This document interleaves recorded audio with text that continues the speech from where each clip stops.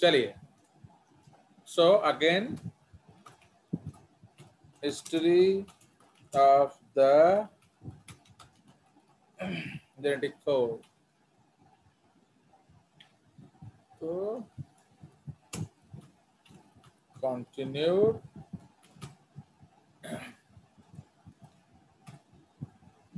तो इधर हम लोग एक will start with one work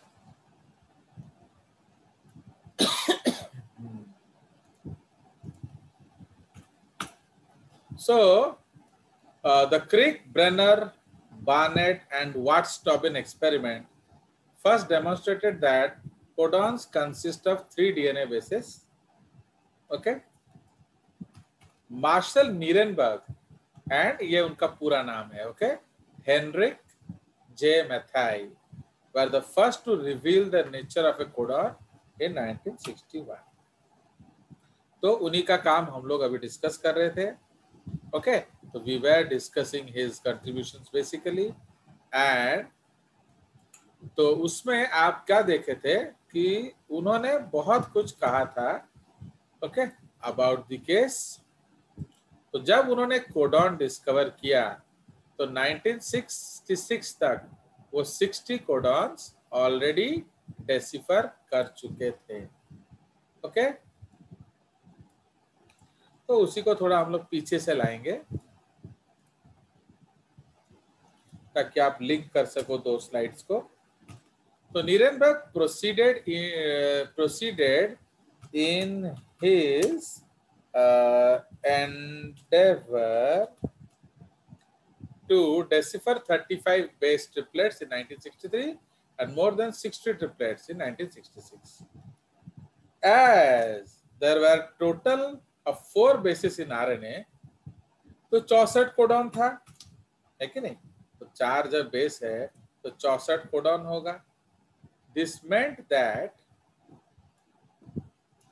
okay इससे क्या साबित हुआ this meant that more than one codon could code for one amino acid, thus making the code redundant. Okay? या, और उसको हम डी जेनेरेट कहते हैं। ओके री डी जेनेरेट तो रिडंडेंट मतलब जहा ओके डीजेनरेट मतलब तहां। मतलब एक से ज़्यादा कोड होगा। For instance A G and A code for lysine Okay eventually Three of the codons UAG were found to be stop codons that signal the end of amino acid chains and did not code for any amino acid. ठीक है तो ये जो काम था हमारा किसका था मार्शल नीरेनबर्ग ठीक है so this was the story of Nirenberg आप बच गए हमारे कौन? Our own Hargobind Khorana okay so जो थर्ड कंट्रीब्यूशन जो है it is from Hargobind Khorana and I will also show you the Nobel prize citation because वो मैं हर समय दिखाता हूँ। So Hargobind Khorana a researcher from the university of Wisconsin extended and adapted Nirenberg's work.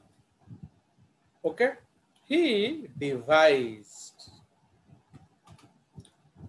biochemical methods for producing synthetic RNA with specifically located nucleotides. Okay, now the first of these nucleic acids was made up of repeating sequence of two nucleotides U and C which after translation gave an amino acid chain made up of serine and leucine ठीक है?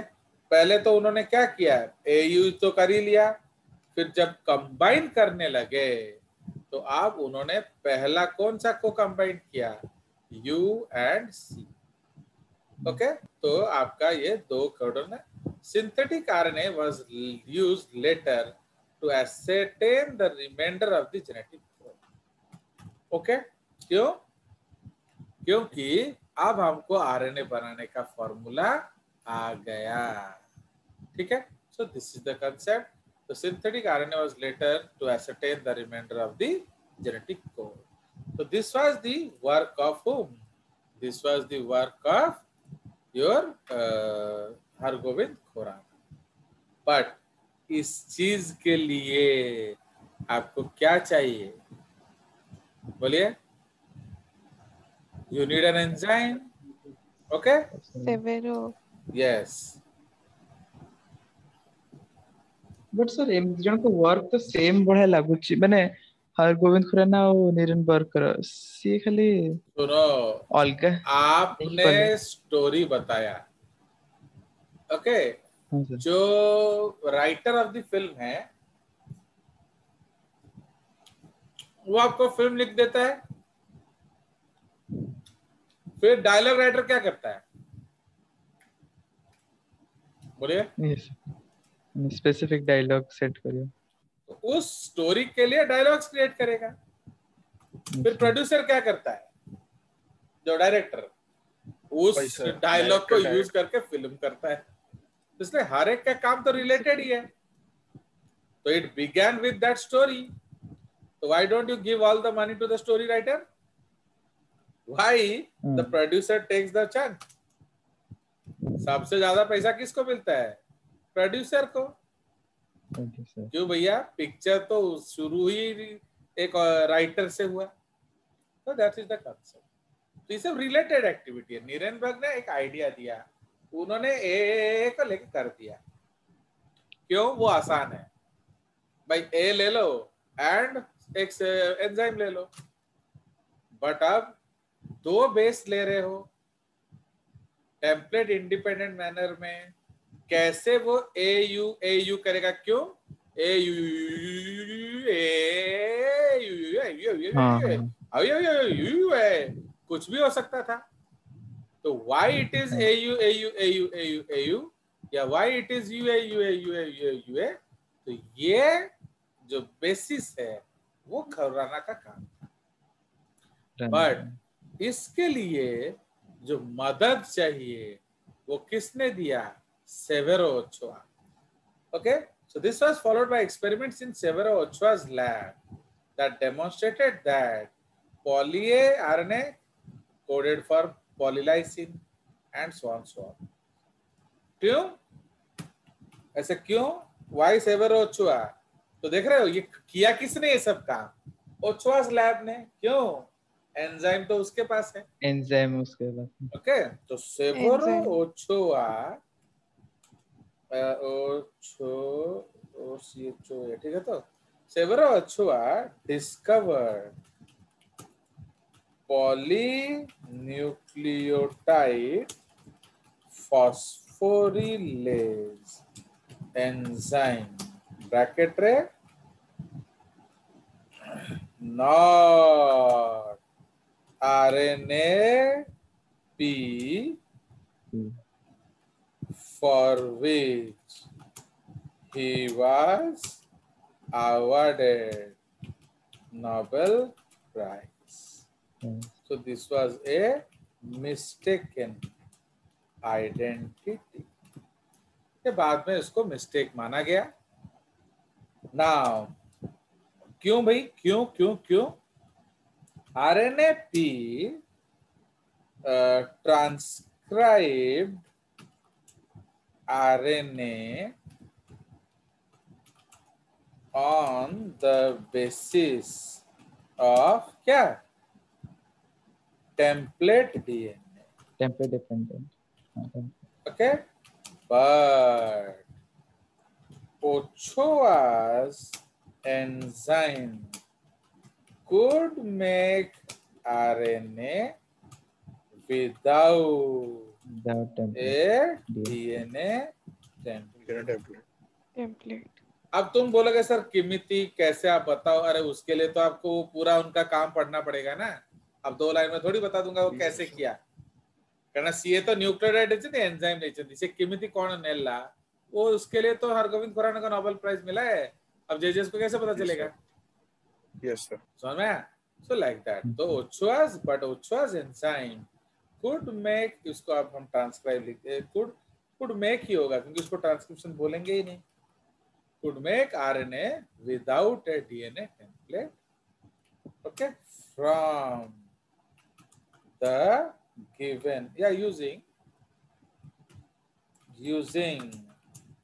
the given what?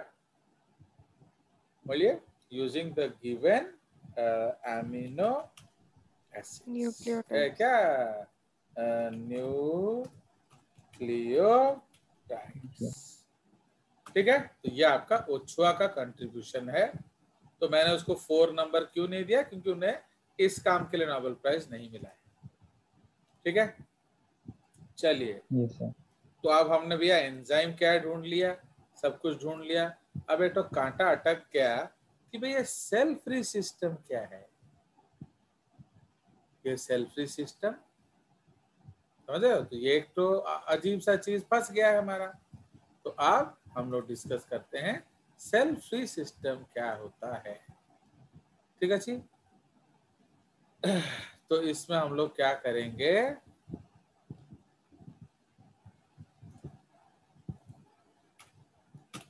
A cell-free system is an in vitro tool widely used to study biological reactions that happen within cells apart from a full cell system, thus reducing the complex interactions typically found when working in a whole cell.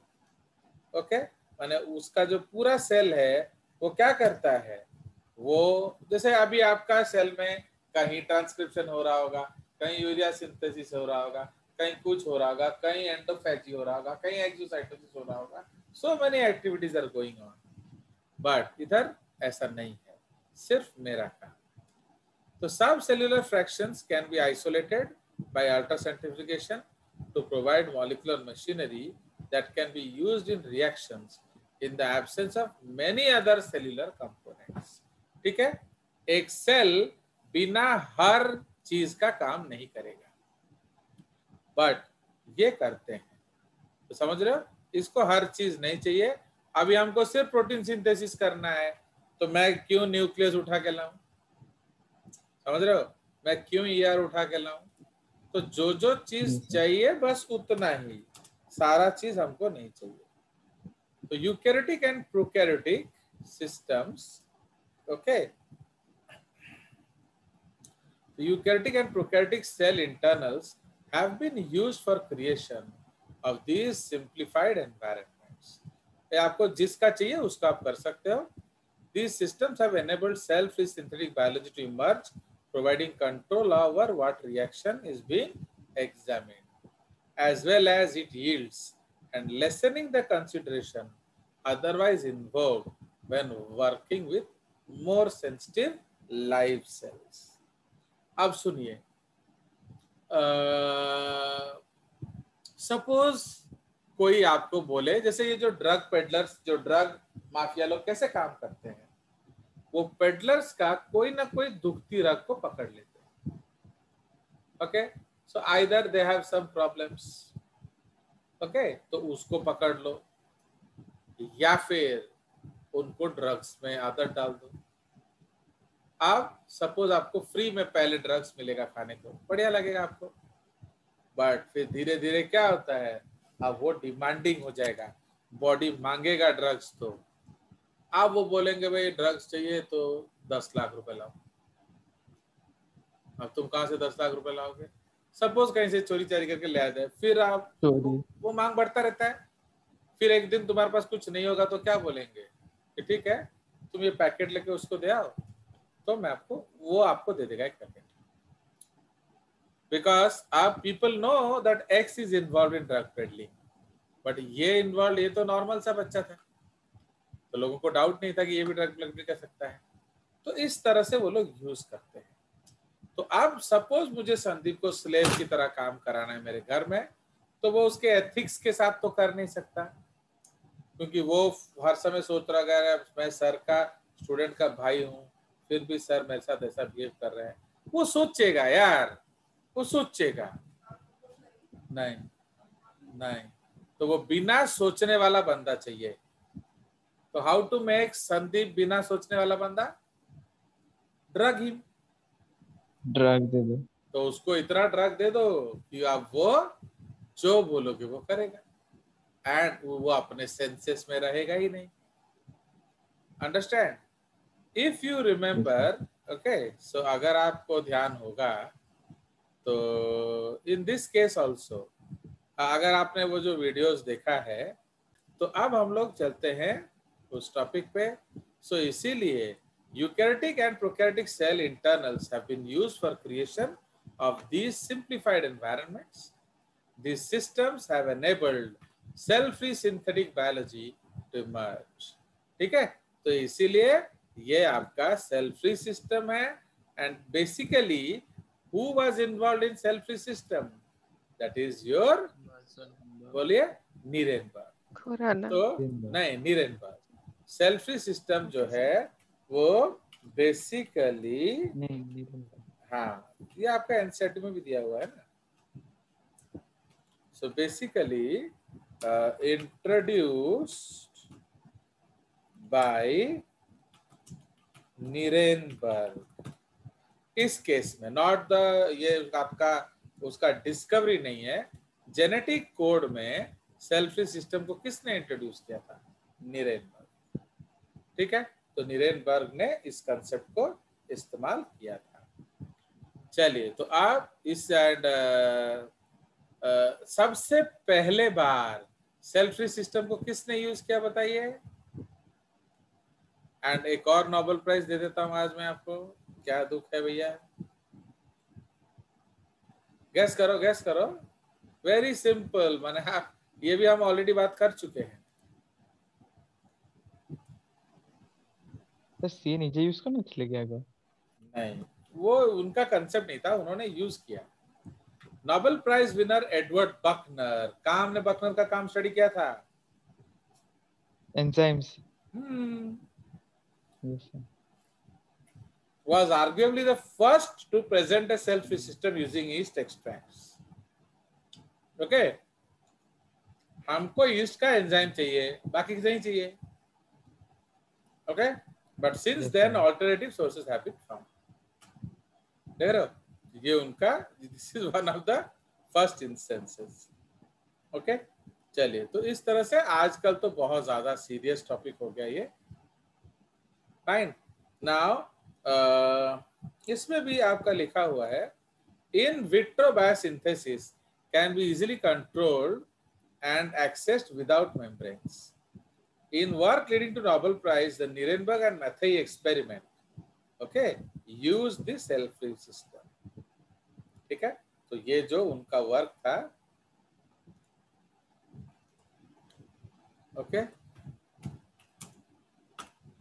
Okay Notably, in work leading to Nobel Prize, the Nirenberg and Mathey experiment use a cell-free system of the cell extract-based type to incorporate chosen amino acids tagged radioactively into synthesized proteins with 30S extracted from E. coli.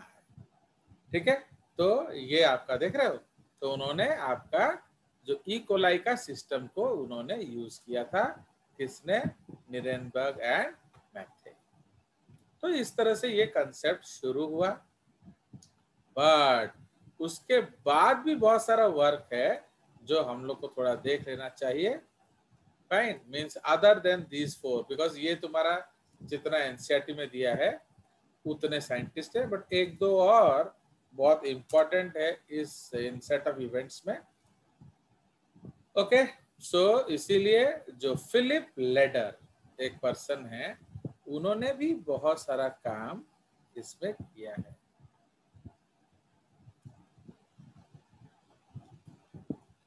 Okay so extending this work Nirenberg and Philip Leder reveal the code triplet nature and deciphered its codons okay in these experiments various combinations of mrna were passed through a filter that contained ribosomes and etc etc etc ये तो आप जान जाओगे ठीक है सो ये आपका एक और एक्टिविटी है तो मैंने जो सेल्फ फ्री सिस्टम को यूज़ करके कैसे इन्होंने सारे कोडॉन्स को डेसिफर किया उसके बाद जो तीन स्टॉप कोडॉन्स का ज़िक्र आया because they could not decipher these codons okay so the three stop codons were named by discoverers richard epstein and charles steinberg ठीक है उन्होंने इसको नाम दिया एम्बर was named after क्या तो एम्बर तो हाँ वो बड़ा गड़बड़ है। उसको हम ये नहीं कर सकते तो इसलिए इसको काटो और फिर रीपेस्ट कर दो। Amber was named after whom तो amber was named after their friends Harris Bernstein whose last name means amber. Bernstein German में उसका मीनिंग है amber the other two stop codon तो वो एम्बर एक कलर है है कि नहीं? इसीलिए बाकी को उससे नाम The other two stop codons were named ocher and opal in order to keep the color name theme. ठीक है? तो सिंस एम्बर एम्बर आप देखे हो कि नहीं? येलो कलर का होता है। ये हम लोग फॉसिल्स में देखेंगे। तो आपका जो रेजिन होता है ना रेजिन जब if you remember the film Jurassic Park उसमें जो वो जो बूढ़ा जो अपना एम्बर से ही वो डीएनए निकाला था। Okay okay?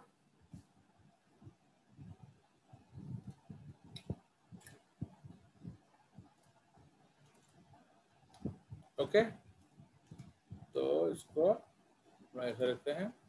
सो so, ये हमारा डिस्कवरी वाला काम खत्म।